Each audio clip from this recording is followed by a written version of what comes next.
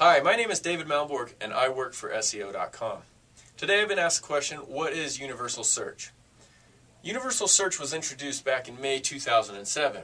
The concept being, instead of just showing 10 regular web pages within a search results page, Google would provide you other mediums and other types of content within that same page, within that same search result.